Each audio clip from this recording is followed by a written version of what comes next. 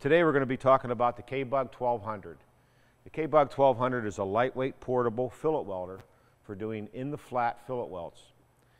As you can see, it's a very small, lightweight portable machine that allows you to take the machine directly to the workpiece, um, fits in confined spaces, and takes the gun out of the operator's hand. This way, the operator has less fatigue, is able to just monitor the puddle and let the machine do the motion control for him. The machine is pretty much self-contained. It includes a 15-foot power cord, a 15-foot weld contactor cable so that it can control the arc on and off. It simply guides against the wall with the gun into the corner and produces stitch or continuous fillet welds. The controls of the K-Bug 1200 are really quite simple. We have a cycle start button, a cycle stop button, a weld enable switch, a preset for the direction switch, and the speed control knob, which also doubles as a selector knob when you're setting your background parameters. Before you start actual welding, you want to set up some of your background parameters in the control of the machine. To do this, simply hold the cycle start button and apply the power. The digital readout will then illuminate with a U and a value. This is the value for puddle build. You simply adjust by one-tenth of a second increments how much puddle build you want to create a puddle at the beginning of the weld. After that's set, simply press the start button again.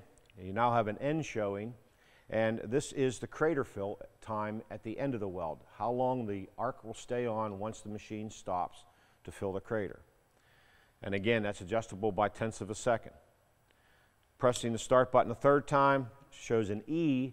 The E is a pause, and what it does is at the end of the weld, it will then stop and pause the weld, and for a period of time, allow the puddle to cool before it fires crater fill at the end and fill the crater on the weld. When you're completely done, simply hit the cycle stop button and it's now in welding mode. There's two different modes of operation, stitch welding and continuous. To set stitch pattern, you set the length of the weld, the distance between the welds, and then also the total length of workpiece in inches or centimeters. To do this, simply press the speed knob down and the A LED will illuminate.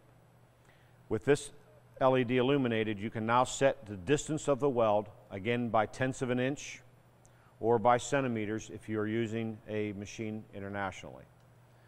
Once that value is set, you simply press the speed button a second time, and now you are in the measurement for the skip between the welds.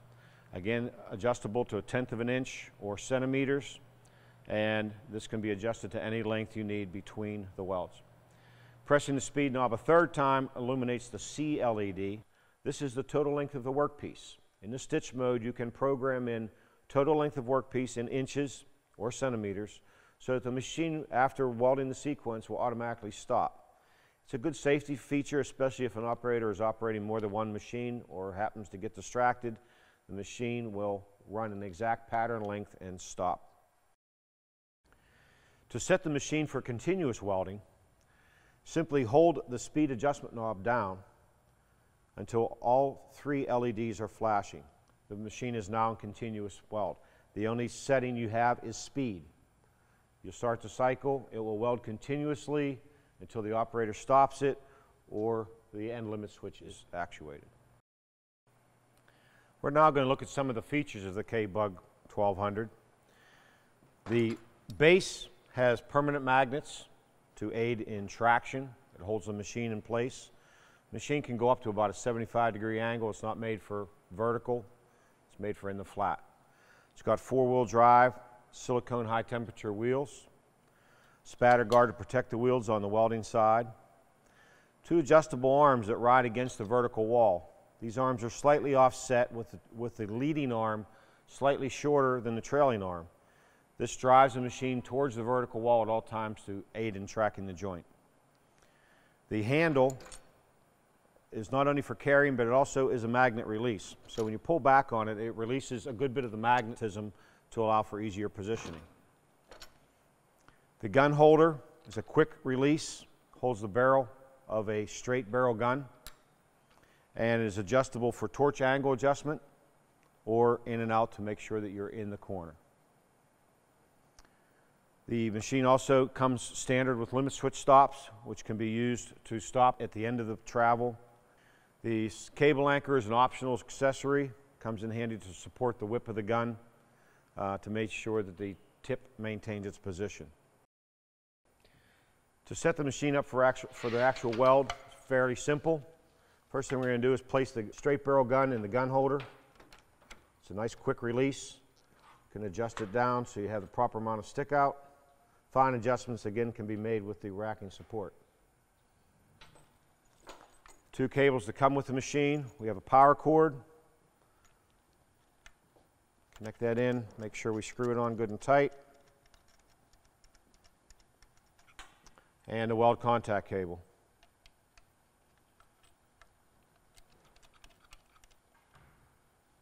Very simple, quick connections. Again, with the optional cable support, we can bring the gun and cable and the other cables up through it. Keeps them out of the way and prevents any strain.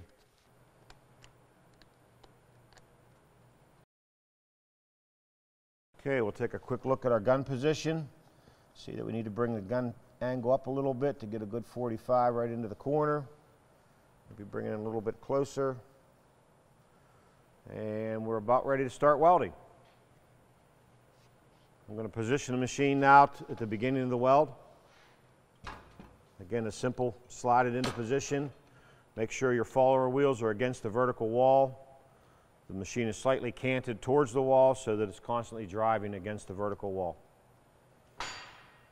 We're going to go double check our parameters on our weld sequence and we'll begin welding. Okay, we, we're all set up now to do our stitch welding. I've set my pattern to do a one and a half inch weld with a one and a half inch stitch. Torch is in position, the machine's in position, welding equipment's turned on. Simply press the start button to begin this process.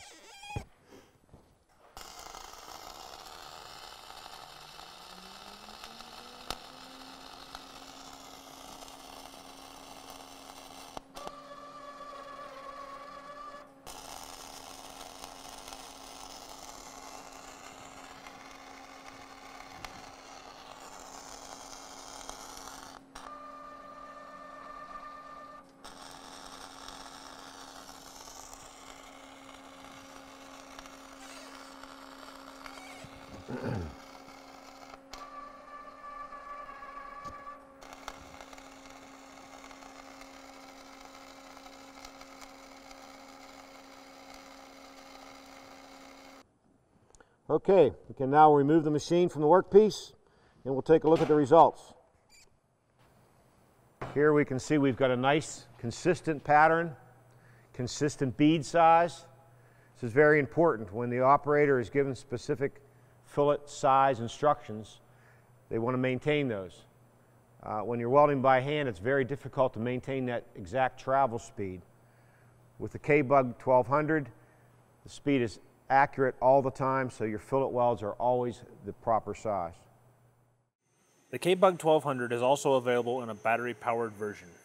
The machine will come with an 18 volt 4 amp hour battery that requires less than one hour for a recharge. The battery is capable of running up to two 8 hour shifts for a total of 16 hours on one charge. The battery is low voltage safe. The machine itself is 100% mechanically similar to the 120 volt, 240 volt K-Bug 1200 versions of the machine. The only requirements for this machine are the weld contact cord and the welding torch. Lithium ion batteries run at full power until the charge is depleted. This is much better than standard batteries because standard batteries lose power over time, affecting and slowing travel speed. This enables the battery powered K-Bug 1200 to run at constant speed throughout the entire life of the battery. For more information on the K-Bug 1200 and other great Bug-O products, visit our website at bugo.com or contact your local welding distributor for more information.